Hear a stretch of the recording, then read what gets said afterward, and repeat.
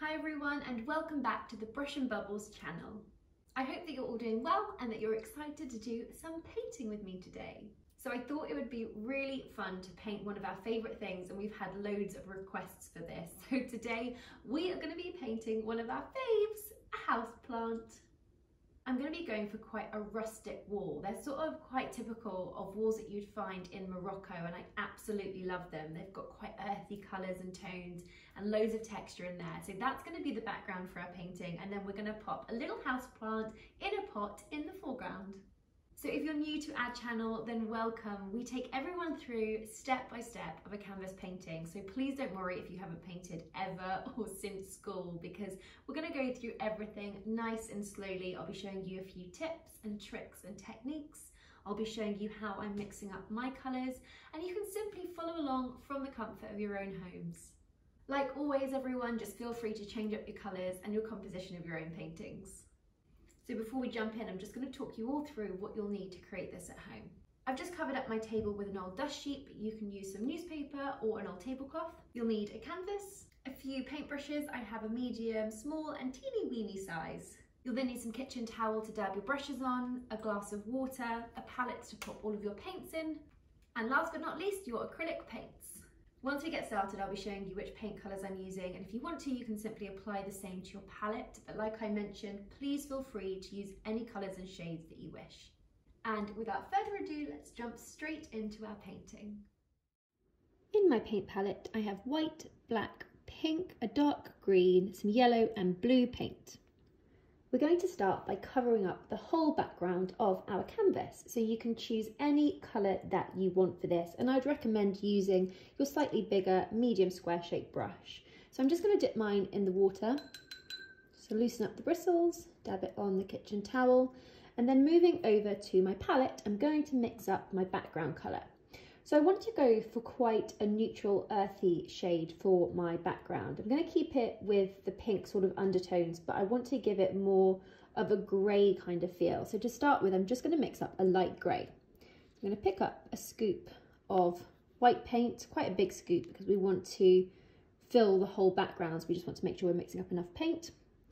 And then to this, I'm going to add a tiny little bit of black and just mix it in.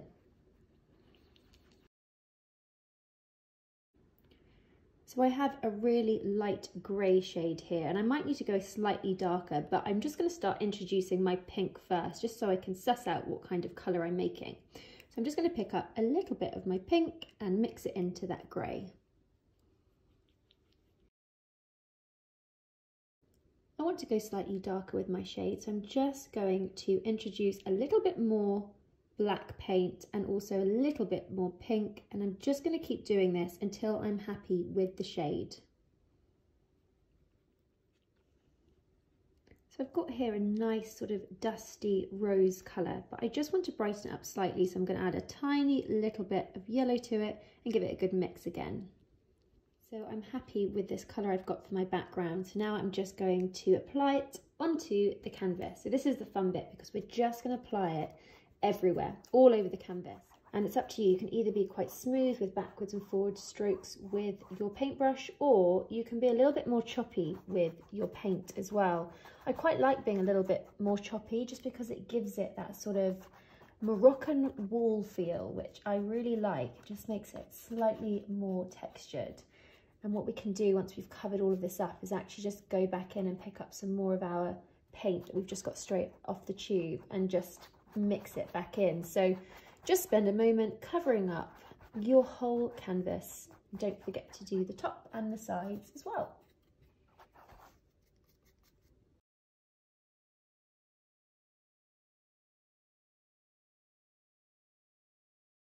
While the paint we've just applied is still wet, what we can now do if you want to, is you can just pick up some of your pure colours. So I'm just going to pick up some of my pink with that same paint that I've already used on my brush what we can start to do is just blend it into sections of our canvas, just to give it a little bit more texture and tone, just introducing some of that brighter shade back in there. You could even pick up a little bit of yellow and blend that in. Again, I'm just being quite choppy with my paintbrush just because I want the background to look quite textured. If you want to, you could always reintroduce a little bit of white paint. And I'm just using quite crisscrossy motions with my brush. I'm working quite quickly, as you can see, just to allow the paint to sort of blend in with the paint underneath before it dries. What's nice about this is we can just add loads of different layers. So if you don't like a little section that you've just added, you can just reintroduce some of the colour that you had originally back in and go back into it. So just carry on blending in these different shades until you're happy with your background.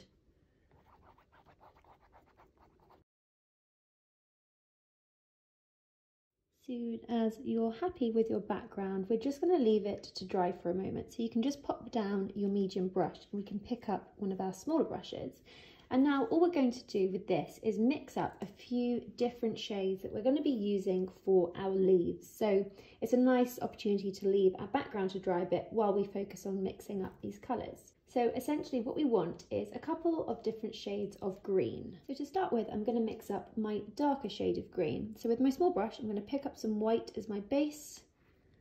And then to this, I'm going to add a big scoop of my green, a big scoop of blue, and a big scoop of yellow and give it a good mix.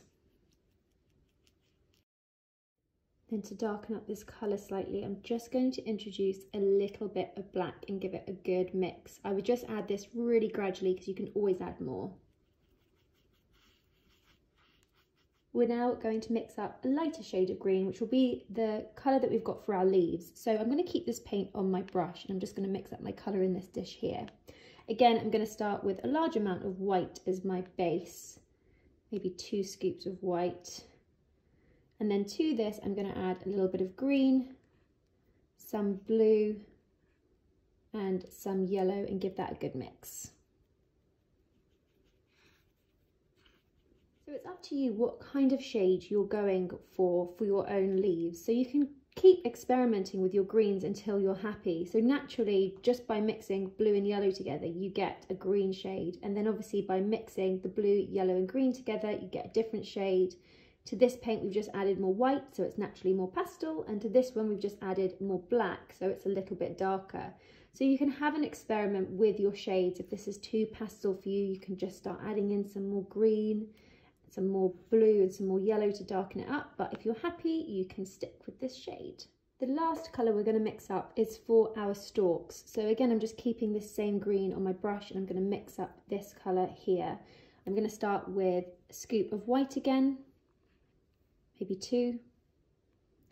I'm then going to add some blue, yellow and green to this.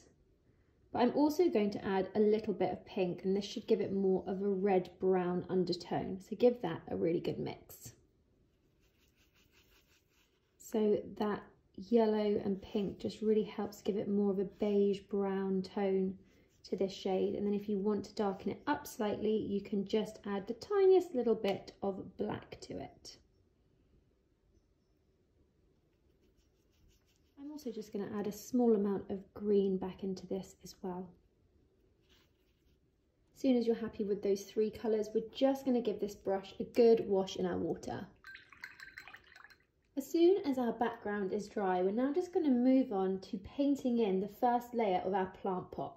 So pick any brush that you like for this. I'm just going to use a really small one and we're just going to start by using some white paint. So picking up some of this white paint with your smaller brush, just decide now where on your canvas you want your plant pot to be. I'm going to have mine coming out from the bottom of my canvas and I might actually just have it off center. So I think I'm going to place it on the bottom right hand corner. So all I'm going to do is decide where I want the top of the plant pot to be and I'm just going to draw a line across.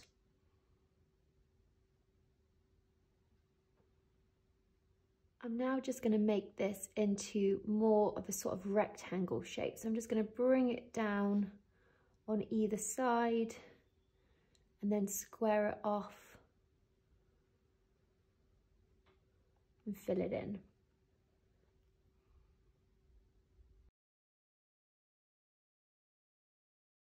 Once you're happy with that, we're now just going to pick up some more white paint and just draw the base. So what I like to do is just come in a slight bit on either side and just do a little dot as a reference for yourself.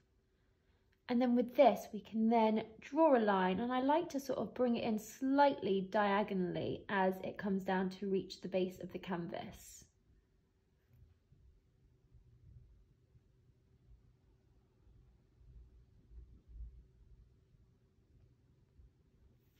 I wouldn't worry too much about this because we can and we are going to go over it with a different colour or some more white paint if you still want your plant pot to be completely white.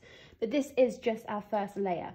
So once you're happy with the sort of shape, just go ahead and fill in this whole section with white paint.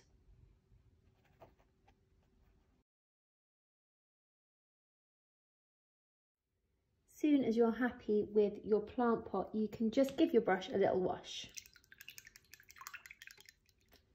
going to move on now to painting in our leaves. So it's completely up to you what kind of shape you want to do for your leaves. I'll be showing you the ones that I'm doing and they're sort of like heart shapes in a way with a bit more wobble to them. So for my leaves, I'm going to use this lighter shade of green that I made earlier, the pastel colour. And I might just switch between my two different small brushes. So for now, I'm actually going to go to my medium side small pointy brush. I'm just going to pick up some of this green and I'm just going to start painting in my first leaf. So we want these sort of coming out from this sort of area and spraying around um, this side, maybe coming off the edge of the right hand side, depending on where you've put your plant pots. Obviously mine's on the side, so I probably have a little bit of a gap around this area, but if you've got your straight bang in the middle, you'll have them coming off on either side. So just start small, I would say, just so you can get a sense of what you're doing. So I'm just going to do an, a heart shape essentially. So just the top of the heart like this, bring it down to a point and then the same on the other side. And essentially the leaves I'm doing are just like heart shapes. I'm just going to fill it all in with this same green shade. And then what you can do is you can give it a little bit of a sort of wobble so it doesn't look too perfect. The great thing about painting anything in nature, especially leaves and trees, is none of them look completely perfect. All of them are a little bit different, a little bit individual, so you can definitely get away with having some wobble in there.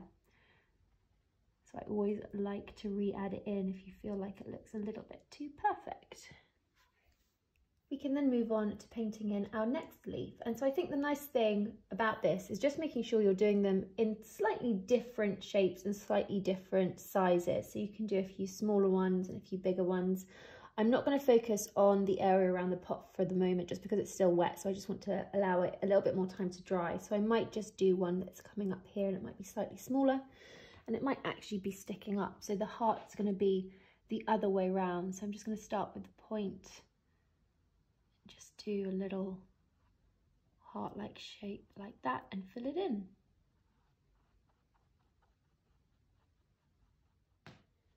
So we just want to carry on now, adding in our different shaped leaves, having them coming off in different directions. I might want to have, might have one coming off this sort of side. And then as the leaves that we've already done start to dry, it's quite nice to overlap them. So if they naturally sort of meet each other while you're painting them in, just let them overlap and decide which one you want in front of the other one.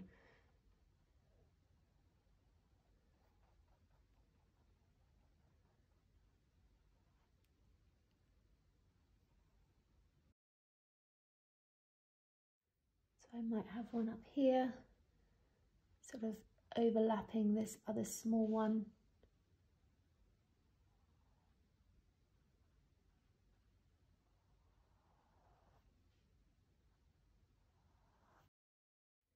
Just carry on now, adding as many leaves as you want to your painting, making sure some of them are overlapping, some of them are slightly smaller than other ones. And I would just leave the area by your pot just until the last moment, just because then we will go back in and add some sort of lay over the top of the pot as well. So for now, just focus on adding the leaves that you want in this sort of section.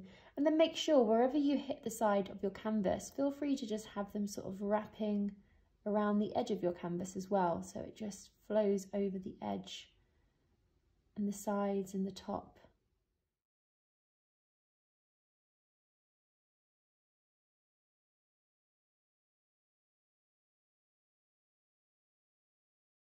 So as you get closer to your plant pot, what you can start to do if you feel like it's dry enough is you can just overlap maybe one or two of the leaves with your plant pot just so it looks nice and natural. So I'm just going to put a small one here. I'm just going to have it overflowing with the plant pot.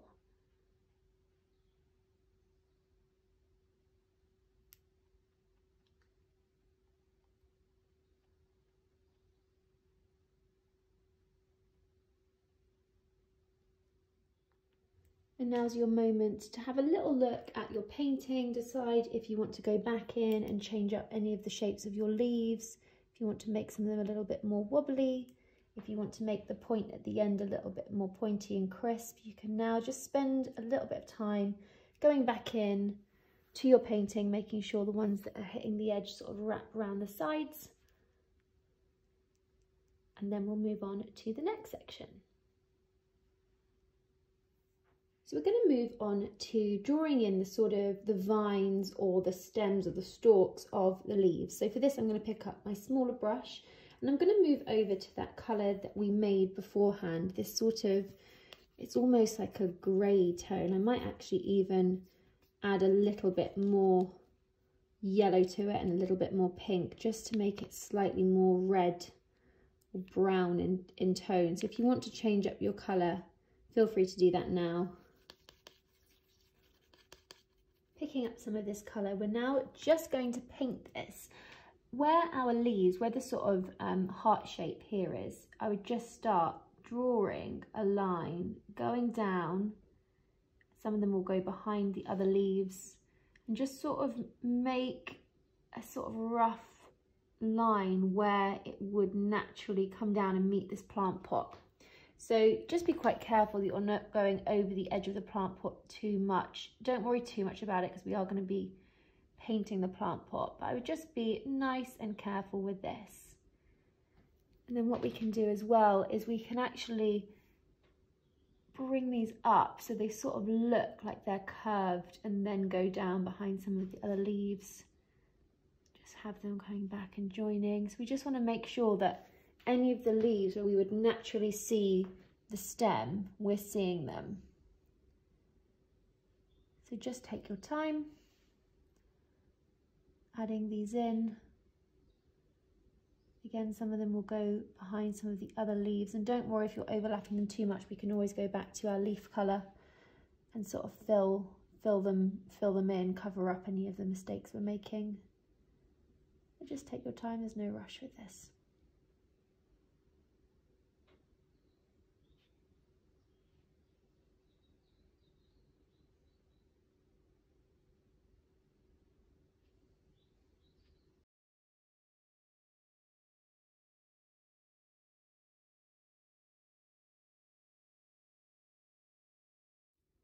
We can now move on to creating the colour or the colours, depending on what you want to do, for our plant pot. So I'm just going to give my small brush a really good wash.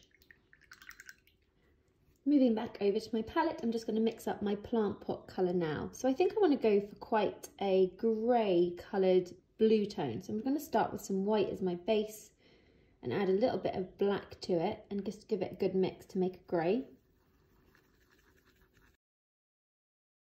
And then to this, I'm just going to add some blue and give it another mix.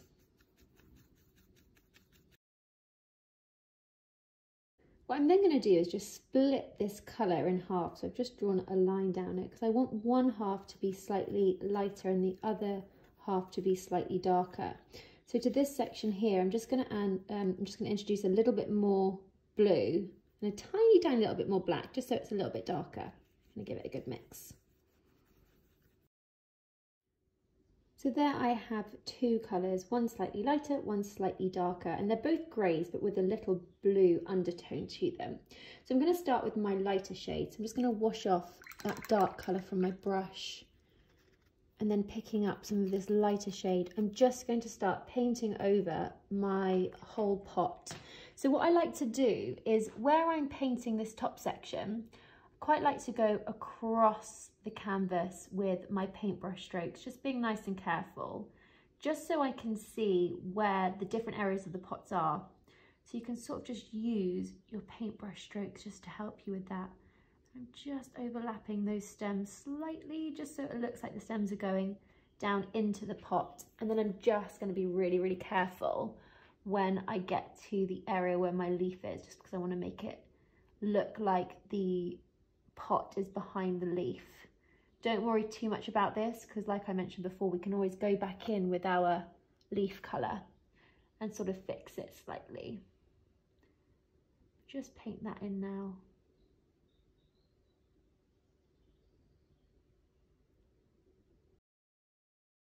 And then when I get to this area of my pot, I'm just going to add a little bit more white to this mixture, just because I want it to be slightly lighter. So I'm just adding that white in there.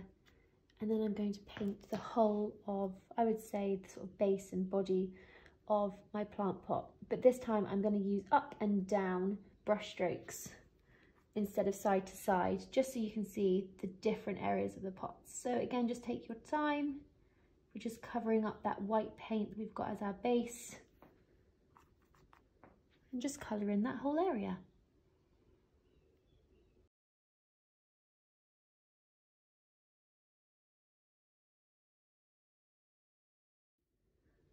What we can do now with that darker shade that we mixed up is just adding a little bit of water to it and giving it a good mix just to make sure it's it's not too dry and it's quite fluid. We can then just pick this up, dash any excess off on the side of your palette and then go back into your plant pot. And what I quite like to do with this is just add a little bit of shadow. So just in the areas where you want to differentiate between the top section and the bottom section of the plant pot, you can just do a line. So I've just done a line along there. I might even do one at the top here, just where the stalks meet the plant pot maybe even bring it down to the side. And then as well, if you want to, you can always do the sides of the body or the base of your pot as well. You can almost even blend it out a little bit because the paint underneath is still wet. You can be quite abstract and scratchy with your paintbrush just to create a bit of texture, create a bit of shadow, just blending it in with that shade you've got underneath.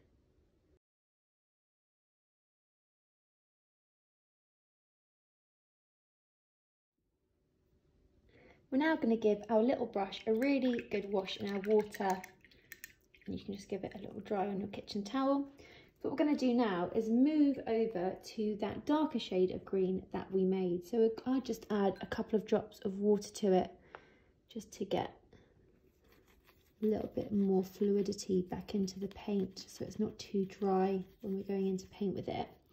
And then what we can do is just dash off any excess paint on the side of your palette.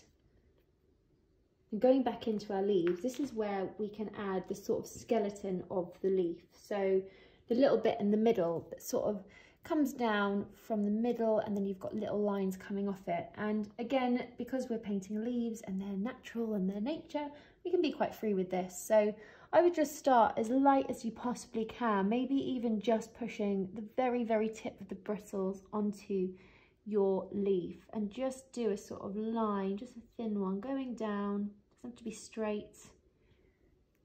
And then picking up some more of that paint, you can just start doing little, little almost like vines coming off from that middle section.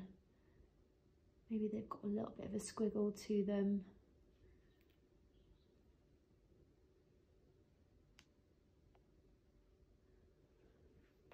Just along the middle part of the leaves. And the bigger ones might have a few more, the smaller ones might just have a few. So just vary them as, as you go. And remember, if ever your paint feels like it's getting a bit dry, just add that water back in, really mix it up. It just helps when we come to drawing thin lines. If the paint is a bit too thick and a bit too dry, it's always harder to draw sort of nice crisp lines with it.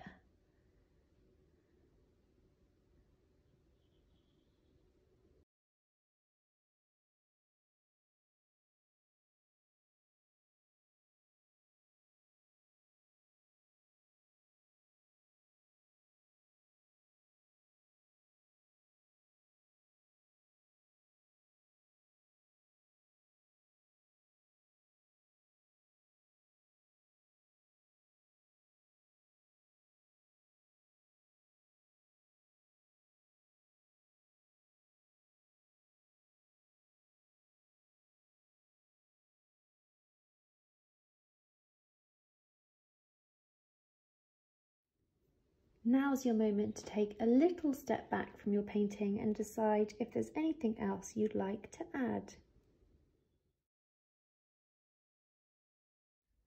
As soon as you've finished adding in all the details that you want and your painting is nice and dry, you have then completed your masterpiece. I hope that you all enjoyed painting that with me today. This is actually a really fun one to do because if you have a few canvases, you could always do a whole series of these with different colours, with different tones, with different house plants, different coloured pots. You can go wild with all of your different paintings and then have them all on display. And if you happen to take some pictures of your paintings, then don't forget to tag us on Instagram at Brush and Bubbles because we love seeing all of your creations. Thank you all so much for joining me today. I hope you had fun. And if you want to check out any of our other tutorials, then simply click the link above and it'll take you to a whole gallery of different paintings you can choose from. Thanks everyone. Bye.